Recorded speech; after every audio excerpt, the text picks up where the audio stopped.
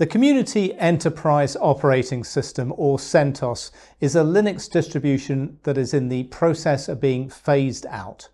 What does this mean for its users and telecom operators in particular? To find out, I'm talking today with Darrell Jordan Smith, Red Hat Senior Vice President of Telco, Media, Entertainment and Edge, and Mike McGrath, the company's Vice President of Core Platforms. Uh, good to see you both. Thanks for joining us. So in 2021, Red Hat announced it would stop supporting the CentOS Linux distributions. Version 8 support stopped in December of that year and end of life for version 7 is scheduled for June the 30th, 2024. And what drove that decision and what are you doing for communities tied to those CentOS projects? Yeah, that was a really important decision at the time. Uh, and really it boils down to a, a, big community aspect of what CentOS Linux was at that time. Uh, it was a, a, community of mostly users. It was very difficult to contribute back to the community. And uh, while there were some very key people that did uh, good and interesting work there, it was very lopsided compared to some of our other communities, like we saw in Fedora. And so we thought it would be best to change the model a bit to one that uh, would be more community oriented uh, and where, where we could actually interact with uh, members of the community and where we could work with partners in the open uh, to get work done. And uh, that was when we decided to focus on, on CentOS Stream. And so that's really the key, uh, that was really the key driver for, for CentOS Stream. at that time, and as part of that, you know, we didn't see much of a need to have uh, the rebuild around anymore. We had several free offerings uh, available, and we are trying to drive people to those uh, those free or otherwise low cost offerings. Okay, thanks, Mike. And uh, Darrell, do you want to come in some, with some thoughts here as well? So, what really drove the decision for Red Hat? I think Mike just went through in some detail. What it means for telecommunications companies is that they still get to collaborate with Red Hat in CentOS streams and they still get to innovate there and know that that ends up in the RHEL distribution that's widely deployed across their network. We work with them very closely in terms of driving a lot of these things into the upstream. And that is where the innovation occurs. And that's what telecommunications companies really care about is the ability to actually develop and contribute into the upstream to build the overall product as it then comes into CentOS streams where they can actually test, deploy, uh, run all of the environments that they want to run in before then deploying it in RHEL in production across their network with the life cycle that they need uh, in order to operate their business. Okay, thanks, Darrell. Um, now, some people are saying that stopping support for CentOS goes against uh, Red Hat's open source principles. Uh, how do you respond to that? Mike, if we can come to you first. Red Hat is just as committed to open source as we've ever been, and I tried to lay that out in my second blog post. Uh, we do everything we can to push all of our code upstream first before we pull it back down into the product. And now's probably a good time to talk about the difference between a community project like CentOS or Fedora, or even the upstream Linux kernel, and a Red Hat product, which is something that we package and sell. Um, a project uh, tends to be where community people from various different backgrounds and things come together. And in our case, that's uh, CentOS Stream. And you can come and watch our engineers actually put RHEL together in real time. And every six months, we batch that up and release it as RHEL after a lot of testing and other things. And Red Hat has over a thousand people working on RHEL, doing all the all the testing you might expect from performance testing to certification, uh, making sure it integrates well with other products and our partners. And we have over 5,000 connection points with the ecosystem uh, and that ecosystem partners. And that includes hardware and software and pretty much anything an enterprise would need. Uh, that is where we work on that. Uh, Red Hat maintains very tight control around RHEL. That's the thing that we produce. Uh, but we work with the community uh, in other places to negotiate future uh, features and what's coming next. And once that has been, once those new features from upstream have been brought into RHEL, uh, we support it for a period of 10 years, uh, two years for some minor releases, and we have uh, several different lifecycle options, including for uh, telecommunications. And that lifecycle is very valuable to people, and it's not something that you can get from upstreams. Uh, that's something that uh, Red Hat provides as a, a product, and, and our customers and partners have found it very useful. Okay, thanks, Mike. And Darrell, do you want to add anything to this perception out there as well? It from a Red Hat perspective, you know, we are open source. Nothing has changed in terms of anything that we do in open source. We drive all of our contributions to the upstream. Our motto internally is upstream first. We innovate there with all the communities. We drive that there. We then bring that down into a distribution that we can actually then um, deploy in an enterprise and or carrier grade network uh, environment. Um, and in fact, a lot of the ecosystem, which is really important for this, depend on RHEL and our ability to innovate and engage with the larger ecosystem, as well as the hardware beneath it. And the hardware is actually particularly important in telecommunications because uh, we're seeing a lot of news around sustainability, different hardware architectures, whether they're GPUs, DPUs, IPUs, ARM, Intel, uh, Qualcomm, Marvell, the list goes on and on and on. And you've got a lot of interdependencies there. And the engineering that Red Hat actually has that we have deployed and working very closely with the uh, communication service providers is absolutely critical to the way that they move forward.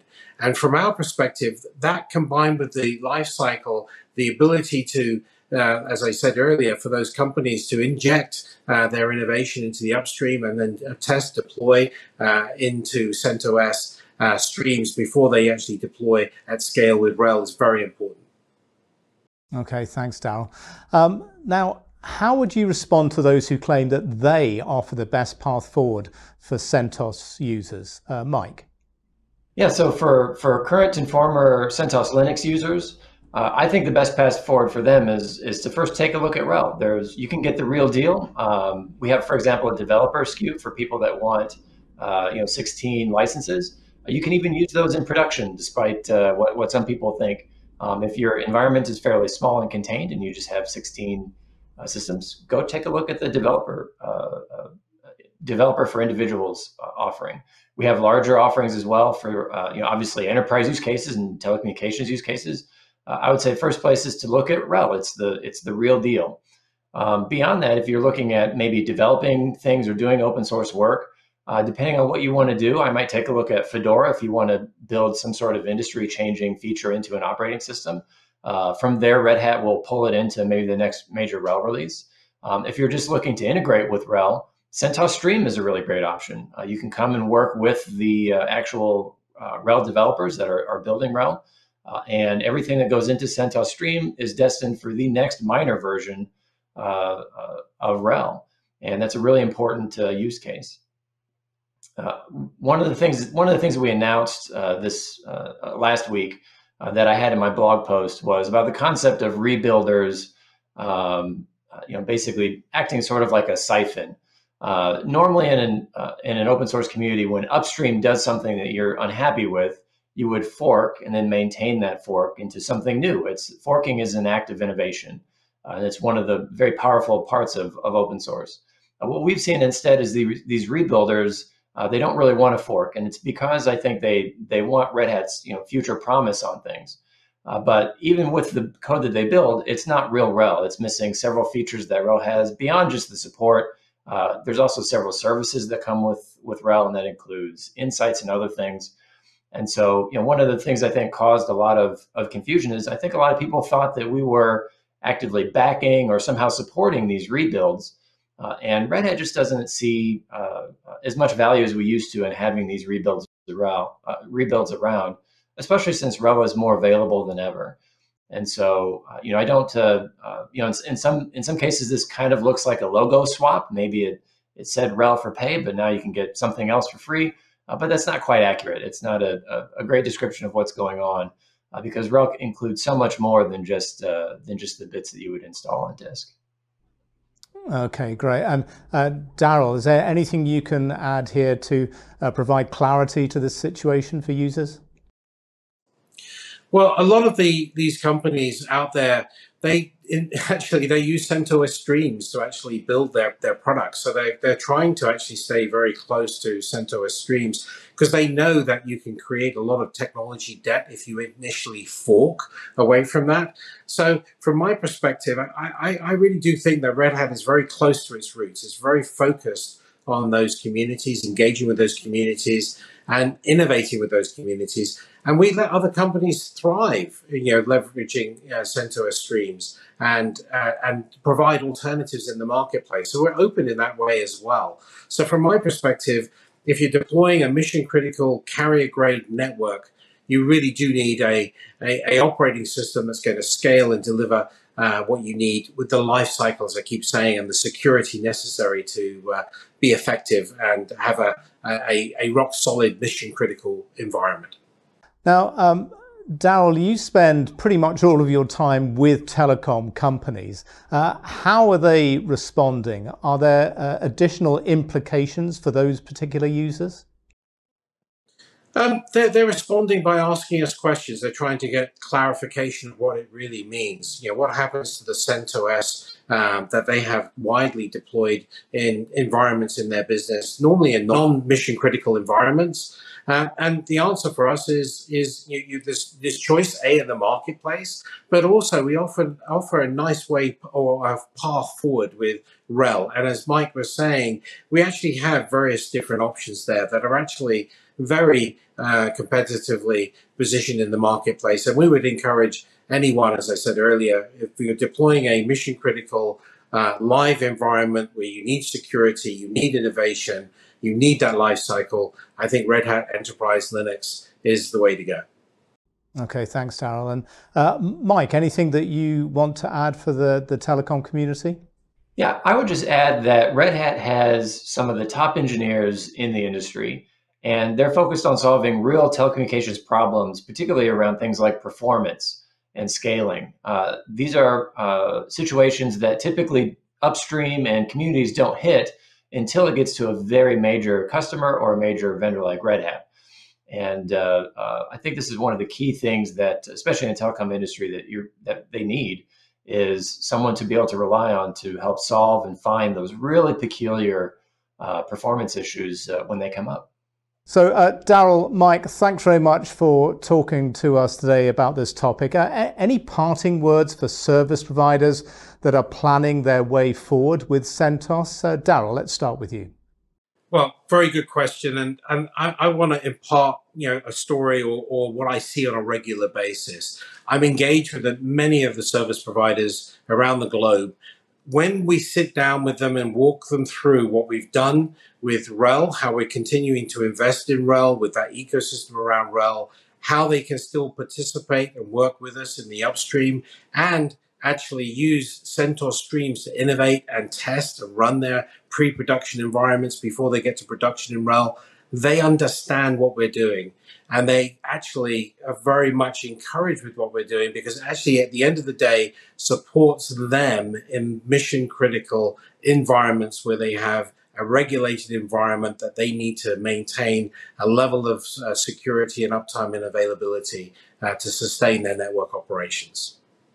Okay, and uh, Mike, any final thoughts from you? Yeah, I think I, would echo what Darrell said. Uh, you know, the, the, rebuilders don't actually have commit access to RHEL. And so if, uh, if somebody's using a rebuilder in a production or mission critical environment uh, and they have a bug, they pretty much have to hope that someone else, a Red Hat, an actual Red Hat customer also has that bug. Uh, otherwise, it will go unfixed. Uh, and I think the other part that I would mention is uh, on the CentOS side, if you are uh, a RHEL customer today or you're, you're planning on using RHEL in the future, and you'd like to know what the next minor version looks like, go look at CentOS Stream and get involved with us. Um, you're more than welcome to run it through your CI systems and run your workloads through it. And that means that when uh, the next RHEL release comes, you can be ready on day one to uh, to uh, build your applications on top of it. And you can also make sure that uh, you know we don't accidentally introduce some sort of uh, of issue or other other unsuspecting uh, problem your way, because you can come and work with the engineers to let us know ahead of time. Okay, well, uh, Mike, Darrell, thanks very much for joining us.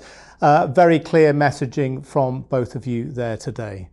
Uh, so uh, thanks to Darrell and Mike, and we look forward to further industry updates from Red Hat in the very near future. Thanks very much for watching.